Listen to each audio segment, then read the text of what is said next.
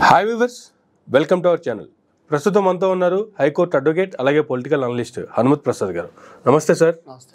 ఎలా ఉన్నారు?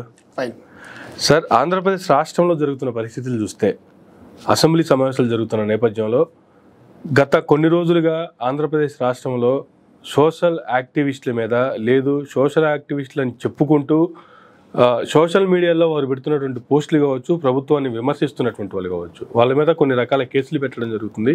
అసలు ఆ కేసులు ఆ పోస్టులు పెడుతున్నటువంటి వారికి అప్లిబోయే కేబులేనా? లేదు ఈ రోజు చంద్రబాబు నాయుడు గారు అసెంబ్లీలో మాట్లాడుతూ కూడా పీడీ యాక్ట్ లాంటి దాన్ని కూడా బలమైన చట్టాలు చేస్తాము దాంట్లో కూడా బలమైన సెక్షన్ తీసుకొస్తాం అనేటువంటి కామెంట్ చేస్తున్నారు. అంటే ఎవరైతే చట్ట విరుద్ధమైన చర్యలకు పాల్పడుతున్నారో ఇన్ ద మీన్ వాళ్ళ ఉద్దేశంలో ప్రభుత్వాన్ని ఎవరైతే విమర్శిస్తున్నారో ప్రభుత్వం చేస్తున్నటువంటి కార్యకలాపాలను ఎవరైతే వేలెత్తి చూపిస్తున్నారో వీళ్ళంతా చట్ట విద్రోహ చర్యల కిందకు వస్తారో ఫస్ట్? వాస్తవంగా ఎవరైనా వ్యక్తిగత దాడులు చేసినటువంటి వారినో లేదు ఫ్యామిలీలో అబ్యూజింగ్గా మాట్లాడినటువంటి వారినో మార్ఫింగ్ చేసి ఫోటోలు పెట్టినటువంటి వారినో ఇటువంటి వాళ్ళని ఎవరు క్షమించరు. పార్టీలకు అతీతంగా ఎవరైనా సరే వాళ్ళ మీద యాక్షన్ తీసుకోవాల్సిందే. బట్ అంతకు మించి వాళ్ళని అడ్డు పెట్టుకొని వాళ్ళ పేరు చెప్తూ ఎవరెవరైతే ప్రభుత్వాన్ని విమర్శిస్తున్నారో ప్రభుత్వాన్ని క్వశ్చన్ చేస్తున్నారో అటువంటి వాళ్ళ మీద కూడా కేసులు పెడుతున్నారు. రీసెంట్గా కొన్ని మనం చూస్తూనే ఉన్నాము. ఈ అసలు వీటికి సంబంధించి as a advocate as a political analyst రెండు యాంగిల్స్లో ఇటు రాజకీయ పరంగా జరుగుతున్నది ఏంది లీగల్ పరంగా జరగాల్సింది ఏంది? ఏం చెప్తారు సార్ అసలు ఈ అంశానికి సంబంధించి? గుడ్ క్వశ్చన్ ఏంటంటే రాజకీయ పరంగా ఫస్ట్ మనం రాజకీయ పరంగా చూసుకుంటే రాజకీయంగా ఈ మధ్య గడిచిన పది సంవత్సరాలుగా చూసుకుంటే ప్రతిపక్షాన్ని నామరూపాలు లేకుండా చేయడమే.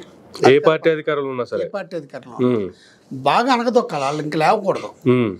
దానికి అవసరమైనటువంటి ఏమేమి ఉంటే అన్ని రకాలుగా చేయడమే. ఓకే. అంటే పోలీసు వ్యవస్థను అడ్డం పెట్టుకుని ప్రత్యర్థుల్ని సమూలంగా ప్రత్యర్థులు అంటే ఇక్కడ ప్రతిపక్ష పార్టీల్ని సమూలంగా తుడిచిపెట్టడం అనేటువంటి వింత పోకడ అనేది మనకి తమిళనాడు నుంచి దిగుమతి చేసుకున్నట్టుగా ఉంది ఆంధ్రప్రదేశ్. కానీ రాజ్యాంగంలో ఎలక్షన్స్ ఉంటాయి ప్రజాస్వామ్యం ఉంటుంది ప్రజల యొక్క మద్దతు ఉంటుంది. ప్రజల మద్దతు గత ప్రభుత్వాన్ని వద్దనుకొని పదకొండు సీట్లకి ఆ ప్రభుత్వాన్ని పరిమితం చేసి కొత్తగా కూటమిగా ఏర్పడినటువంటి వీళ్ళకి నూట అరవై నాలుగు సీట్లు మ్యాండేటరీ ఇచ్చి మీరు మాకు ఉండాలి మా పాలకులుగా మీరే మాకు ఉండాలి అని చెప్పి వీళ్ళకి ప్రభుత్వాన్ని కట్టబెడితే ప్రతిపక్ష పార్టీల మీద చూపిన శ్రద్ధ ప్రేమ రాష్ట్రం మీద ఉందా అంటే ఏం చెప్తారు? ఇది ఒక పెద్ద జోకు. ఏంటంటే రాజ్యాంగబద్ధంగా అన్నది క్వశ్చన్ రాజ్యాంగాన్ని ఎప్పుడో వదిలేసి రాజ్యాంగాన్ని వైలేట్ చేసేది ఏదంటే గవర్నమెంటే ఏదైతే రాజ్యాంగాన్ని పరిరక్షించాలో ఆ పరిరక్షించవలసిన బాధ్యత రాజకీయ వ్యవస్థ మీద ఉంది.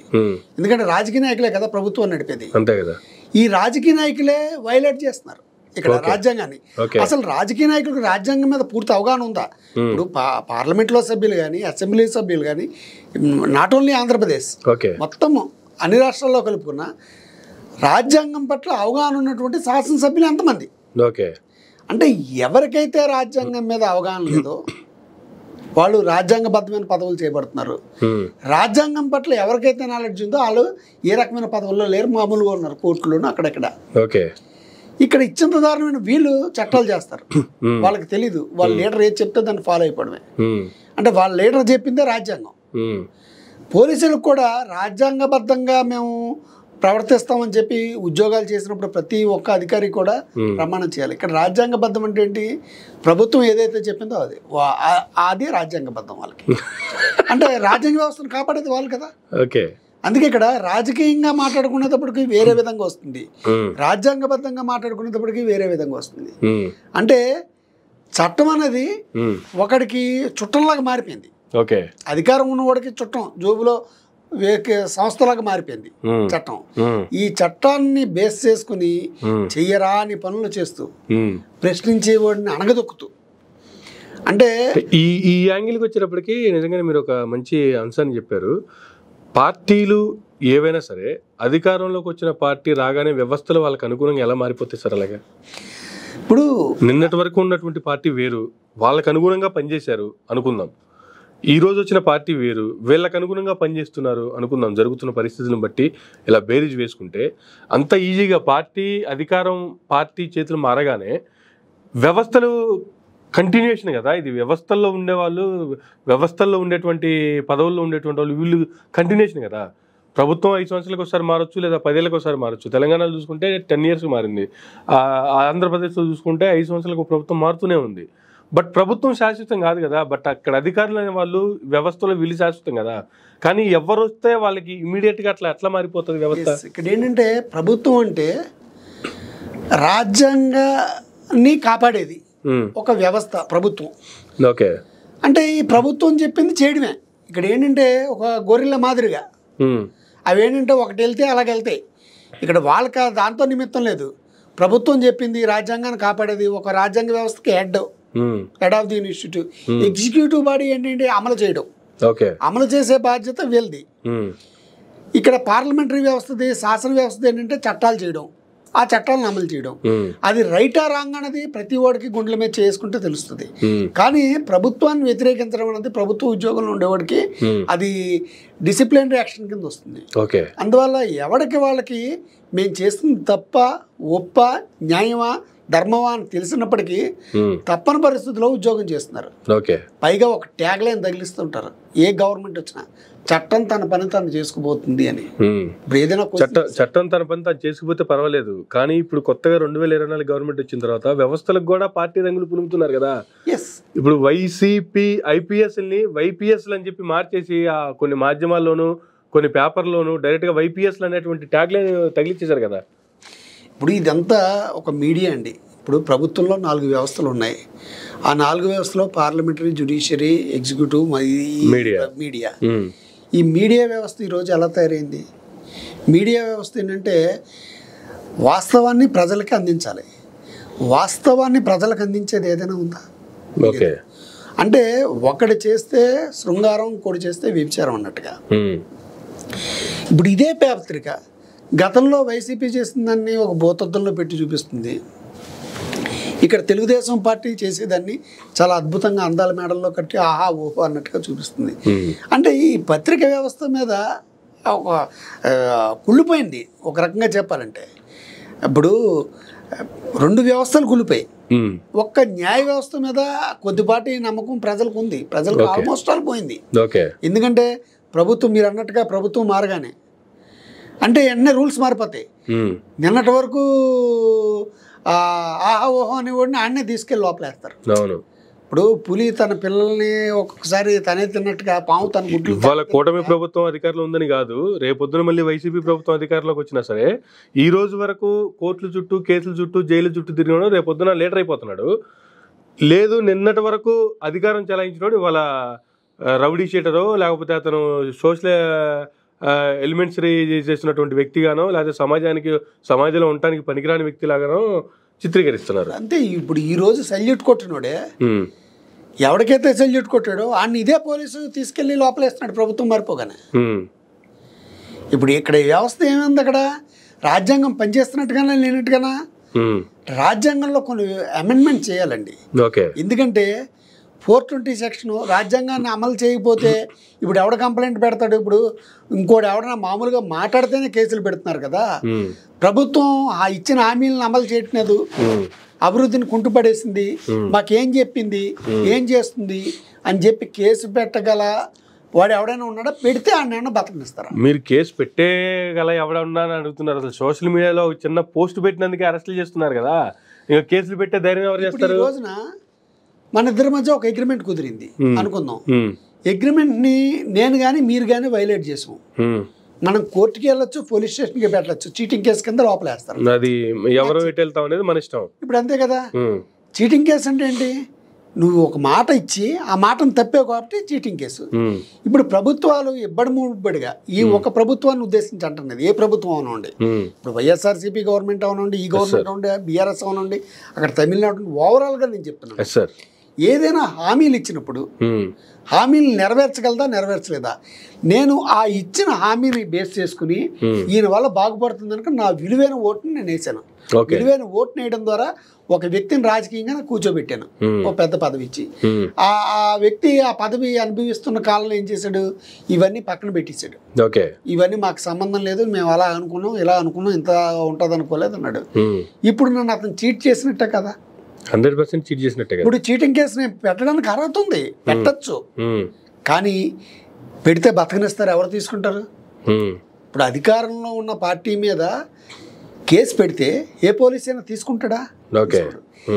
ఇటువంటివి రావాలంటే ఆటోమేటిక్గా రాజ్యాంగ వ్యవస్థలే ఒక కోర్టులే సుమూటంగా తీసుకోవాలి. హామీ ఇచ్చావు ఎందుకు చేయలేదు? హామీలు నెరవేర్చలేదు. ఎంతకాలంలో చేస్తాను ఎంతకాలంలో చేయలేదు. నేను ఎందుకు బర్తరఫ్ చేయకూడదు? అనేసి కోర్టులో ఇనిషియేటివ్ తీసుకునే విధంగా రాజ్యాంగాన్ని తయారు చేయాలి. రాజ్యాంగం తయారు చేసి అమెండ్మెంట్ చేయాలి. తయారు చేయాలంటే కొత్తగా రాజ్యాంగం తీసుకురావట్లేదు. ఇప్పటికి చాలాసార్లు అమెండ్ చేశారు రాజ్యాంగాన్ని. వందల పైన చేశారు అమెండ్మెంట్ ఒక అమెండ్మెంట్ తీసుకురావడమే. ఒక భయం అనేది ఉండాలి. ఒకవేళ అలా తీసుకొచ్చినా కూడా ఏమైనా యూజ్ ఉండే అవకాశం ఉందంటారా? సుమోటోగా తీసుకోవాలి కోర్టులో ప్రస్తుతం. ప్రస్తుతం గత గవర్నమెంట్ ఇప్పుడు గవర్నమెంట్ ఒకవేళ ఈ కేసులకు సంబంధించి మాట్లాడుకోవాల్సిన అంశం వచ్చింది కాబట్టి ఒక నాకు ఒక డౌట్ ఉంది ఇప్పుడు కొత్తగా ప్రభుత్వం వచ్చి సిక్స్ మంత్స్ కంప్లీట్ అయింది అనుకుందాం. ఈ సిక్స్ మంత్స్లో కనీసం ప్రభుత్వానికి వ్యతిరేకంగా అపోజిషన్ నుంచి ఒక్క కేసు అయినా జే కోర్టులో హైకోర్టులో కావచ్చు లోయర్ కోర్టులో కావచ్చు ఒక్క కేసు అయినా ఫైల్ అయిందా? ఎక్కడ ఫైల్ అయిన సందర్భాలు కనిపించలేదు. లేవు. ఒకవేళ ఇదే ఒక ఫైవ్ ఇయర్స్ బ్యాక్ వెళ్తే వైఎస్ఆర్సీపీ అధికారం తీసుకున్న పంతొమ్మిది తర్వాత ఒక six months starting six months అదే ప్రభుత్వం చూసుకుంటే ఆ సిక్స్ మంత్స్ లోపే అప్పుడు అపోజిషన్లో ఉన్నటువంటి ఇప్పుడు ప్రభుత్వం ఎన్ని కేసులు వేసింది అనేది లెక్కలు చూసుకోవచ్చా? ఓవరాల్గా అసలు ఆ- ఆ టెన్యూర్లో ఎన్ని రకాల కేసులతో కోర్టులకు వెళ్ళింది అనేది లెక్కలు చూసుకోవచ్చు కదా? రైట్ ఎందుకు అట్లా ప్రభుత్వాలు ఒక ప్రభుత్వం ఉంటేనేమో అన్ని కేసులు వేస్తున్నారు ఇంకో ప్రభుత్వం ఉంటేనేమో అసలు సైలెంట్గా ఉంటున్నారు ఎందుకు ఇట్లా జరుగుతుంది? ఇప్పుడు వాళ్ళ మంచితనం అని ఒకడు అనుకుంటాడు నేను అన్నదే వైఎస్ఆర్సీపీ అసమర్థత అనుకుంటాను. ఇన్ని జరిగినా కూడా ఇంత జరుగుతున్నా మరి ఎందుకు కేసులు ఫైల్ చేయట్లేదు? ఇప్పుడు చేసిన పనిని చెప్పుకోలేని దౌర్భాగ్యమైనటువంటి స్థితిలో వైఎస్ఆర్సీపీ ఉంది ఈ రోజున. ఓకే. గతంలో వందకి తొంభై ఐదు శాతం హామీలు నెరవేర్చినా కూడా ఉమ్, ఈరోజు గెలవలేకపోయిందంటే అర్థం ఏంటి ప్రజలకి చెప్పుకోలేని పరిస్థితిలో ఉంది. ఓకే. కేవలం ప్రతిపక్షాన్ని తిట్టుకోవడం వాటి గురించే చూసారు తప్ప చేసిన అభివృద్ధిని చెప్పుకోలేకపోయింది. ఇక్కడ వీళ్ళది ఏంటంటే ఏమీ చేయకపోయినా చేసినట్టుగా చూపెట్టుకోవడంలో వీళ్ళ సిద్ధాస్తులు. ఓకే. రెండోది గత ప్రభుత్వం చేసిన తప్పిదాలని వేలెత్తి చూపెట్టడంలో సక్సెస్ అయ్యారు. ఓకే. ఈ రెండు వాళ్ళ ఫెయిల్ అయ్యారు మేనేజ్మెంట్లో.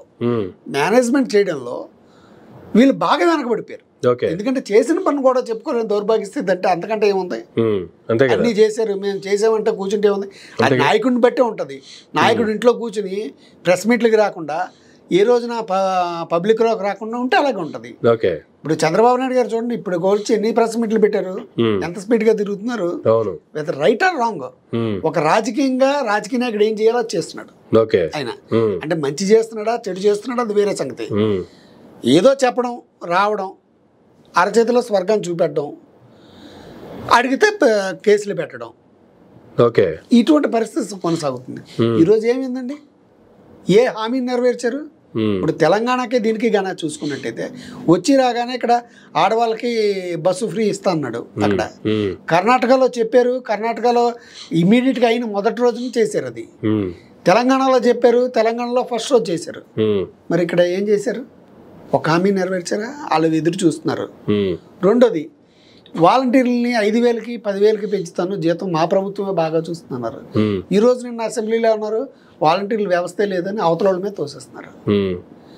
అంటే ఎవరికి లబ్ధి చేకూరుస్తారు? మేము సంపద సృష్టిస్తూ ఉన్నారు చెత్త అన్నారు చెత్త మీద పన్ను వేస్తున్నారు. ఇంకోటి ఇప్పుడు మళ్ళీ పీడీ యాక్ట్ అన్నట్టుగా వచ్చింది. పీడీ యాక్ట్ని సమర్థవంతంగా చేస్తామని.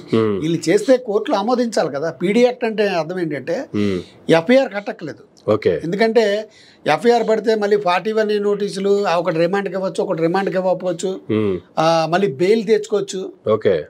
ఇవేమీ లేకుండా పీడీ యాక్ట్ పెడితే తొంభై రోజుల పాటు అసలు కేసు కట్టకుండా లోపల వేసేయచ్చు సో మిమ్మల్ని ఎక్కడ కనిపిస్తే అక్కడ వెళ్ళిపోవచ్చు. ఎవరైనా రాజాసింగ్ గారిని చేశారు కదా బీఆర్ఎస్ గవర్నమెంట్. తీసుకెళ్ళిపోవచ్చు పీడీ యాక్ట్ అనొచ్చు. ఓకే. వాళ్ళు తొంభై రోజుల లోపల ఏదో సమర్పిస్తే అవి కోర్టుకి వెళ్తాయి ఇప్పుడు. దీంట్లో ఎమ్మెల్యే ఎమ్మెల్యే ఎంపీ లేకపోతే సామాన్యుడు ఇలాంటి ఏం పనికిరావు. లేవు. ఎవరినైనా లేపుకెళ్ళిపోవచ్చు. ఎవరు వ్యతిరేకం ఉంటే వాళ్ళ మీద చేసుకెళ్ళిపోవచ్చు. దానికి ఒక గైడ్ లైన్స్ లేదు తర్వాత ఏముంటుంది? కోర్టు తొంభై రోజులు ఎనభై రోజులు అయిపోయాక వాళ్ళు కమిటీ ఏదో రిపోర్ట్ సమర్పించాలి సమర్పించాక ఇది రాంగ్ అంటది కొట్టేస్తుంది. ఈ లోపల అరవై రోజుల్లో చికిత్స అయిపోయి ఉంటాడు ఊడిపోతాడు కూడా తెలియని పరిస్థితి. అంటే రాజ్యాంగాన్ని పరిరక్షించండి. ఎవరైతే రాజ్యాంగాన్ని పరిరక్షిస్తామని ఎక్కుతున్నారో వాళ్ళకి రాజకీయ విలువలు లేకుండా పోతున్నాయి. రెండోది నానా పటేకర్ గారు ఒక మాట అన్నారండి. సార్. భారతదేశంలో రాజకీయంలోకి ఎవడైనా ప్రవేశించాలంటే రాజకీయ నాయకుడు కావాలంటే మినిమం ఐదు సంవత్సరాల పాటు బోర్డర్లో పనిచేయాలా అన్నటువంటి తీర్మానం పెడితే అక్కడికి దేశభక్తి ఉంటుంది దేశాన్ని రక్షించుకోవాలని ఉంటుంది. ఇక్కడ ఎవరు వచ్చినా దోచుకోవడమే. ఎవరు వచ్చినా దోచుకోవడమే. అంటే మామూలుగా ఉండేవాడు ఒక సామాన్యుడు టీ కొట్టేవాడు టీ షాప్ అతను టీ షాప్ అతనే ఉంటున్నాడు Hmm. మీరు మీకులాగా ఉంటారు నేను నాకులాగా ఉంటున్నాను. ఉమ్, రాజకీయాల్లోకి వెళ్తే మటుకు బాగా బలిసిపోతున్నారు. ఇబ్బడి ముబ్బడిగా సంపాదిస్తున్నారు. ఒకటని కాదు ఏ పార్టీ అయినా సరే ఇలాంటి వ్యవస్థ ఎక్కడ లోపం? అంటే దేశం పట్ల ప్రేమ లేదు. స్వార్థం. ఓకే. విభజించు పాలించు. అంటే ఎవరైనా కొంత కలిసి ఉన్నారంటే ఒక నాయకుడు వచ్చి కులం రకంగానో మతం రకంగానో మధ్య విభజించేయడం ప్రజల మధ్య కొట్లాట్లు వచ్చే చేయడం. అలా జరిగితేనే మాకు బాగుంటుంది అనుకోవడం. ఎవరు అధికారంలోకి వచ్చినా పోలీస్ వ్యవస్థ నిర్వీర్యం చేసేయడం. వాళ్ళ కండువాలు వేసి వాళ్ళ చేత పని చేయించుకోవడం. ఇది ఏ పార్టీ అయినా వచ్చింది సార్ ఆ పార్టీ వస్తే ఆ పార్టీకి వేయడం వాళ్ళకేముంది? వాళ్ళు చెప్పారు తీసుకొచ్చి లోపలేసేయడం. ఉమ్, వీళ్ళు అయ్యారు అనుకోండి రేపు పొద్దున ఆయన తీసుకొచ్చి లోపలేసేయంటే ఆయన తీసుకొచ్చి లోపలేసేయడం ఉమ్, ఇదే డ్యూటీగా ఉంటుంది. పోలీసులను అడ్డు పెట్టుకుని వాళ్ళ డ్యూటీలు వాళ్ళు చేయించకుండా మళ్ళీ చట్టం తన పని చేసి చేసుకుపోతుంది. నిజంగా చట్టాన్ని తన పని తాను చేసుకునేవండి ఇప్పుడు రాంగ్ వచ్చినట్టు రాంగ్ ఉంటుంది. ఎందుకు? ఈ దేశం అభివృద్ధి చెందలేకపోతుంది. నా చిన్నప్పటి నుంచి కూడా భారతదేశం అభివృద్ధి చెందుతున్న దేశము. బట్ నాట్ డెవలపింగ్ కంట్రీలో ఉండిపోయింది. Still also we are learning that slogan only అంటే డెవలపింగ్ కంట్రీ డెవలప్డ్ కంట్రీస్ సరసన చేరట్లేదు. ఎందుకంటే ఉమ్, వ్యవస్థను తూట్లు పొడుస్తుంది ఎవరంటే మెయిన్ వ్యవస్థ నడిపే వ్యక్తి వెళ్తే ప్రభుత్వాలే. ఫస్ట్ లిటిగెంట్ ప్రభుత్వం. ఉమ్, ఈ ప్రభుత్వం సెటరేట్ అవుతే ప్రజలు ఎప్పుడు సెటరేట్గానే ఉన్నారు. ఓకే ప్రభుత్వం సెటరేట్ అవుతే రాజ్యాంగ వ్యవస్థకు అనుకూలంగా ప్రయాణం చేసినట్లయితే ప్రజలు ఆటోమేటిక్గా సెట్ అవుతారు దేశం వెనకబడిపో ముందుకెళ్తుంది. ఓకే. దేశం వెనకబడిపోతుందంటే గల కారణం ప్రభుత్వాలే. సో రైట్ చాలా మంచి విషయాలు చెప్పారు sir. Coming to the present situation social media యాక్టివిస్టులు అరెస్టులు కేసెస్ ఈ ఈ యాంగిల్కి వస్తే అసలు ఈ కేసులను ఎలా చూడాలి సార్? ఇప్పుడు ఈ యాంగిల్కి వస్తే అంటే ఇందులో రెండు రకాలు ఉన్నాయి. ఇప్పుడు ఒక కుక్కని మనం చంపేయాలనుకుందాం. ఉమ్, ఇప్పుడు ఎవడైనా కుక్కను కొడుతున్నాడు అనుకోండి రాయి పట్టుకుని. ఏంటంటే ఎందుకే అలా కొడుతూనే ఉంటారు అది పిచ్చి కుక్కని అన్నారు అనుకోండి కొట్టి చంపండి అంటారు. ఇక్కడ ఇందులో ఒక పది మందో డజన్ మందో ఇరవై మందో ముప్పై మందో. సోషల్ మీడియాలో ఇటు కానీ అటు కానీ రెండు వైపులా. అంటే వాళ్ళ కుటుంబాల్లోకి వెళ్ళిపోయి వాళ్ళ కుటుంబ సభ్యుల్ని ఆడవాళ్ళని రాజకీయాలతో సంబంధం లేకపోయినా చాలా దారుణంగా మారుతూ. వాళ్ళనే కాదు కదా సోషల్ మీడియాలో ఎవరో యూట్యూబ్లో పెట్టుకుని వంటలు చేస్తున్నారు. ఆవిడ గురించి మాట్లాడతారు బాడీ షేపింగ్ గురించి. ఇలాగ మాట్లాడే వాళ్ళు తీసుకెళ్ళి ఖైదు చేస్తే శిక్ష చేస్తే పర్వాలేదు. అంటే అది పెట్టుకుని ఇటు ఇటువంటి వాళ్ళని హండ్రెడ్ పర్సెంట్ శిక్షించాలి సార్. కానీ వీళ్ళు అన్ని పార్టీల్లో ఉన్నారు. నాట్ ఓన్లీ ఒక పార్టీ. అన్ని పార్టీలో ఉన్నారు. కానీ జరుగుతుంది మాత్రం ఒక పార్టీకి సంబంధించిన వ్యక్తుల అరెస్టులు మాత్రమే జరుగుతున్నాయి. రైట్ మిగతా వాళ్ళ మీద జరిగితే కూడా ఇదే శిక్షలు ఉంటాయి అంటున్నారు కానీ ఎక్కడ చర్యలు నేను అన్నది కేవలం ప్రశ్నిస్తున్న వాళ్ళు కూడా కేసులు నోటీసులు ఇస్తున్నటువంటి సందర్భాలు ఉన్నాయి. అంటే ఇప్పుడు నేను కొన్ని వీడియోలు చూశాను. మేము ఎప్పుడు ఎవరిని తిట్టలేదు ఎవరిని ఏం మాట్లాడలేదు. మేము వైఎస్ఆర్సీపీ అభిమానులు ఉన్నాం ఇంకోటి ఇంకోటి చెప్తున్నారు. మా మీద కూడా కేసులు పడుతున్నాయి. అనేసి కొంతమంది అన్నం చూశాను. ఓకే. ఇది తప్పు. నేను అన్నది. ఇప్పుడు ఏ పార్టీ అధికారంలో ఉంటే ఆ పార్టీని కాకుండా చంద్రబాబు నాయుడు గారు మంచి మాట అన్నారు. సార్. ఎవరిని వేలెత్తి చూపెట్టినా కుటుంబ సభ్యుల గురించి కించపరిచేలాగా మాట్లాడినా ఉమ్, వాళ్ళ మీద మా పార్టీ అయినా సరే మేము కేసులు పెడతా ఉన్నారు. అది మాటల్లో ఉంది కానీ చేతల్లో కనపట్టలేదు ఇప్పుడు చేతల్లో కూడా కనపడాలి కదా వీళ్ళని ఎలా తీసుకెళ్తున్నారో అలా తీసుకెళ్ళాలి కదా. రైట్. దేనికైనా చట్టం ఒక పద్ధతిని నిర్దేశించింది. ఆ చట్టం నిర్దేశించిన కక్షలో వెళ్తే ఆ పద్ధతిలో వెళ్తే దేనికైనా అందం ఉంటుంది. తిట్టారు. ఏం చేయాలా? నోటీసులు ఇవ్వాలి. నోటీస్ ఇచ్చి రమ్మనాలా? తర్వాత అరెస్ట్ చేయాలి. కానీ వాళ్ళ గవర్నమెంట్ ఉన్నప్పుడు వైఎస్ఆర్సీపీ గవర్నమెంట్లో కూడా నోటీసులు ఇవ్వకుండా కొంతమందిని తీసుకుపోయారు. అప్పుడు ఎంత గగ్గోలు పెట్టారు మీరు? ఉమ్, నోటీసులు ఇవ్వకుండా ఎలా తీసుకెళ్ళిపోయారు రిమాండ్లు కూడా రిజెక్ట్ అయ్యాయి. నోటీస్ ఇవ్వకుండా తీసుకొచ్చారు ఇప్పుడు దాన్ని వ్యతిరేకించిన మీరే ఈరోజు అధికారంలోకి వచ్చాక అదే పని చేస్తుంటే? తేడా ఎక్కడుంది? మీరు ఏదో తేడా చూపిస్తారని కదా అటు సైడ్ రాంగ్ అని కదా. మీరు చేసేది ఏంటి ఉమ్, రాత్రులు రాత్రులు తీసుకెళ్ళిపోయి నోటీసులు ఇవ్వకుండా మీరు చేయట్లేదా? ఇప్పుడు ఆయన అంటే కొత్త లేకపోతే కడప నుంచి వచ్చాడు. ఫ్యాక్సినిజం అలాగే ఉంటుంది వాళ్ళ వ్యవస్థ. పులివెందుల రాజకీయం. పులివెందుల రాజ్యాంగం అంటూ ఉన్నారు. కాబట్టి అలాగ ఉంటుంది మూర్ఖత్వంగానే ముడితనంగా ఉంటుంది. మీరు సీనియర్ సభ్యులు వరల్డ్ ఫేమస్ విజనరీ అందరికంట సీనియర్ అని మీరు చెప్పుకుంటున్న మీరు. మీరు కూడా అదే పందాన్ని వ్యవహరిస్తే ఇంకా మీకు ఆయనకి ఎక్కడ తేడా ఉంది? ఆయనకిలాగా నేను ఉన్నని చెప్పొచ్చి ఆయనకంటా దారుణంగా ప్రవర్తిస్తూ ఒక పక్క ఇచ్చిన హామీలు నెరవేర్చకుండా డైవర్షన్ పాలిటిక్స్ చేస్తూ ఈ. రకంగా ఉంటే ఏ రకంగా ఉంటుంది? మళ్ళీ వాళ్ళకే పగ్గాలు అప్పచెప్పినట్టు ఉంటుంది మీరేంటంటే వాళ్ళ నెత్తిన పాలు పోస్తున్నారు. వాళ్ళకి లేని సింపతి పెరుగుతుంది. వాళ్ళకి లేని అయిపోయింది ఇప్పుడు ప్రజలు ఎవరు ఊహించిన విధంగా వెంటిలేటర్ మీద పడుకోబెట్టారండి వైఎస్ఆర్సీపీని. ఇప్పుడు తెలుగుదేశం వాళ్ళు వాళ్ళకి అన్ని సీట్లు వస్తుంది అనుకోలేదు మాకు ఎంత దారుణంగా ఓడిపోతాం వీళ్ళు అనుకోలేదు. అంటే ఏంటి? మనిషి చావు బతుకుల స్థితిలో ఒంటిలేటర్ మీద అలా ఉంటారో అటువంటి పరిస్థితి. అటువంటి పరిస్థితి నుంచి వీళ్ళు నెత్తిన పాలు పోసి జనరల్ వార్డులోకి మార్చినట్టుగా వాళ్ళు అవకాశం ఇస్తున్నారు మళ్ళీ వైఎస్ఆర్సీపీకి. ఇప్పుడు ఏముంది ప్రజలు ఎప్పుడు కూడా అండి ప్రతిపక్షాన్ని చూడరండి. ప్రతిపక్షం ఏం చేసిందని అధికార పక్షం చేసిన తప్పులనే చూస్తారు. ఎందుకంటే జగన్మోహన్ రెడ్డికి ఇప్పుడు ఈ రోజుకి వచ్చి మీరు చేయవలసింది చేయడం మానేసి ఆ ప్రతిపక్షాన్ని నిందిస్తుంటే ఏమవుతుంది? ప్రజలు అధికార పక్షాన్ని చూస్తారు మళ్ళీ వాళ్ళకే పగ చెప్తారు. పనిష్ చేసేది ప్రజలు గుర్తుంచుకోండి. ఓకే. ఇప్పుడు మీరు చేసిన దానికి అలా చేశారు కాబట్టి ఆయన అక్కడ కూర్చున్నాడు.